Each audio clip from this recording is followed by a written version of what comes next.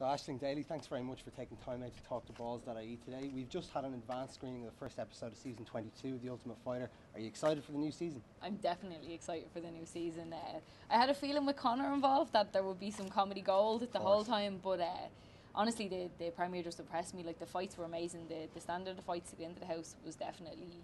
You know the guys were really throwing down. They they weren't leaving anything to, to chance. You know sometimes you see guys coast and they look like they don't want to be there, but man, that team Europe is looking is It looking is pretty serious. Definitely impressive.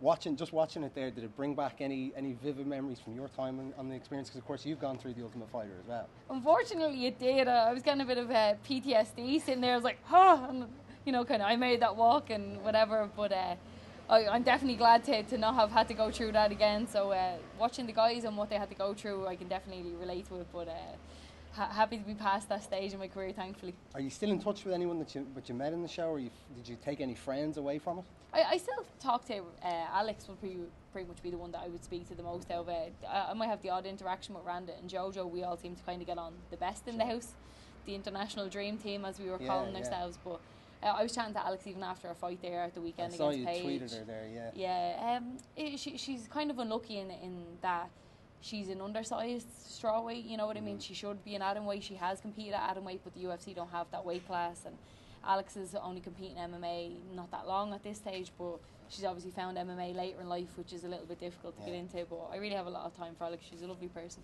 And now, what I've always wondered is, you, you, you lived it, you experienced it there.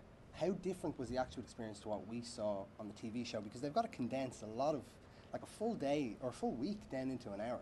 And you know, the TV, they're going to look for, they're going to look for drama. They're going to over exaggerate things. How different was it, and how difficult was that to, to get used to? In my uh, experience of it, it was fairly accurate, especially for our season. There was all that bitchiness, there was all that pettiness, there was all that arguing, this kind of tit for tat rubbish going on with the, the coaching and oh well I'm not training with you because I might have to fight you at the end of the bracket. It was all very accurate. I, I just think you get you know 16 alpha females together in a, a building like that. There's just going to be be all sorts of craziness breaking out, and a lot of the girls were just like not not very nice people to to begin with. So yeah, a lot of it was accurate. You know what I mean? Uh, they didn't have to make anything entertaining.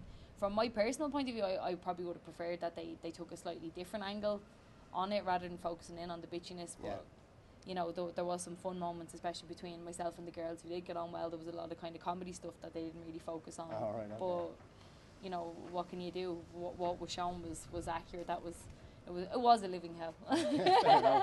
But uh, one thing I've always wondered, this is just a personal question of the Ultimate Fighter. What's the story with food? Do they just give you whatever you want? They'll go in a big shop every week and they and they bring it into the house. I know it's a bit of a weird question. Yeah, well, actually, this is everybody asked me this question. Oh, yeah, so okay. basically, how it works is you have like a shopping list section with your name on it.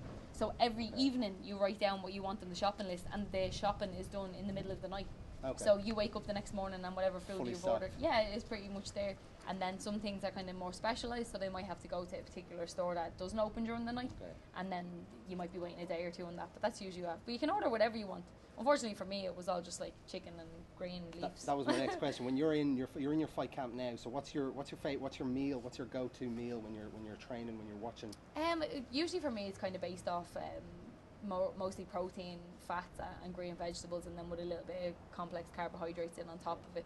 So for me, uh, I'm I'm pretty big for for straw weight. So uh, I I've pretty much been dieting now since 16 weeks out from the, the fight. So you know it, it's hard work for me, but.